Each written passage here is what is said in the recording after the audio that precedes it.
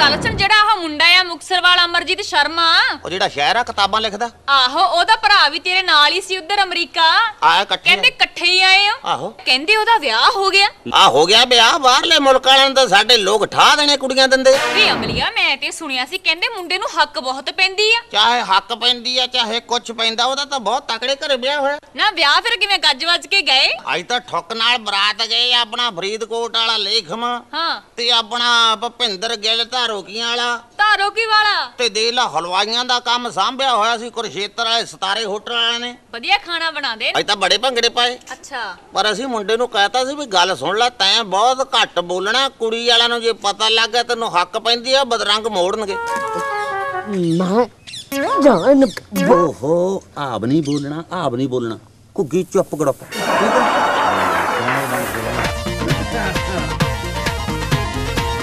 ਉਹ ਸੰਤੀਏ ਕੁੜੀਆਂ ਨੇ ਜਦੋਂ ਰੀਵਨ ਕੱਟਣ ਲੱਗੀਆਂ ਤੇ ਕੁੜੀਆਂ ਨੇ ਬੜੀਆਂ ਨੂੰ ਚਿਹੜਾ ਕੀਤੀਆਂ। ਹਾਏ ਹਾਏ ਵੀ ਇਹਨੂੰ ਕੱਚੇ ਤੋੜ ਲਿਆਂਦਾ। ਕੱਚਾ ਨਹੀਂ ਤੋੜਿਆ ਇੱਕ ਦੇ ਨਾਲ ਇੱਕ ਫ੍ਰੀ ਲੈ ਕੇ ਜਾਊਂਗਾ ਸਿਸਟਰ ਜੀਜਾ ਇਹ ਕਿਹੜਾ ਡਰਮੀਗੋਲ ਪਾਊਡਰ ਹੈ ਜਿਹੜਾ ਇੱਕ ਨਾ ਇੱਕ ਫ੍ਰੀ ਮਿਲ ਜਾਏਗਾ? ਅਸੀਂ ਤਾਂ ਲੈ ਹੀ ਜਾਊਂਗੇ ਸਿਸਟਰ ਹਾਏ ਹਾਏ ਨਹੀਂ ਇਹ ਕੀ ਬੋਲੀ ਜਾਂਦਾ? 5100 ਲੈਣੇ ਪੂਰੇ 5100 1 ਨਹੀਂ। ਰੁਪਿਆ ਨਹੀਂ ਘੱਟ ਚਾਹੀਦਾ। ਐ ਕਰੋ ਦੇਖੋ ਬਈ ਹੁਣ ਇੰਨੇ ਕ ਨਾਲ ਹੀ ਸਾਰੋ 5500 ਰੁਪਈਆ ਬਹੁਤ ਆ ਅਗਲੀ ਵਾਰੀ ਫਿਰ ਚੱਲ। ਲੈ ਲੈ, ਸਿਸਟਰ। ਚੱਲ। ਲੋ ਫੜੋ। ਕੱਟ ਦੋ ਰੀਵਨ ਕੱਟ ਆਓ ਖੱਜੋ ਆਨੰਦ ਕਾਰਜਾਂ ਤੋਂ ਬਾਅਦ ਅਸੀਂ ਉਹਨੂੰ ਘੇਰ ਲਿਆ। ਨਾ ਤੈਨੂੰ ਸ਼ਰਮ ਨਹੀਂ ਆਉਂਦੀ ਹੈ?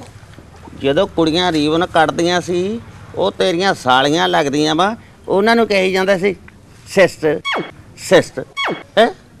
ਚੱਕੀ ਯਾਰ ਜਰਾ ਮੈਨੂੰ। ਆਜਾਂ ਨੂੰ ਦੱਸੇ ਦਵਾਂ ਮੈਂ। ਸ਼ਰਮ ਤਾਂ ਤੁਹਾਨੂੰ ਆਣੀ ਚਾਹੀਦੀ ਸੀ। ਕਿਉਂ?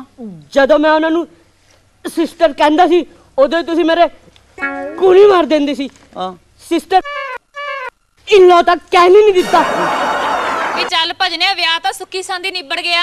ਉਹ ਸੁਖੀ ਸੰਦੀ ਕਾਹਦਾ ਨਿਬੜਨਾ? ਸੰਤੀ ਵਿਆਹ ਦੇ ਵਿੱਚ ਤਾਂ ਪੰਗਾ ਪੈ ਗਿਆ ਸੀਗਾ। ਕੀ ਗੱਲ ਹੋ ਗਈ? ਤੈਨੂੰ ਪਤਾ ਵੀ ਉਹ ਸ਼ਰਮੇ ਮੰਦੇ ਆ ਉਹ ਤਾਂ ਦਾਰੂ ਨੂੰ ਹੱਥ ਨਹੀਂ ਲਾਉਂਦੇ। ਆਹੋ। ਕਿਤੇ ਬਚੂਰ ਨੇ ਇਲਤ ਕਰਨ ਲੱਗਿਆ ਸੰਤੀ ਇਹ ਵਿਆਹ ਵਾਲੇ ਮੁੰਡੇ ਨੂੰ ਦੋ ਨਾ ਪੈਗ ਦਾਰੂ ਦੇ ਪਿਆ।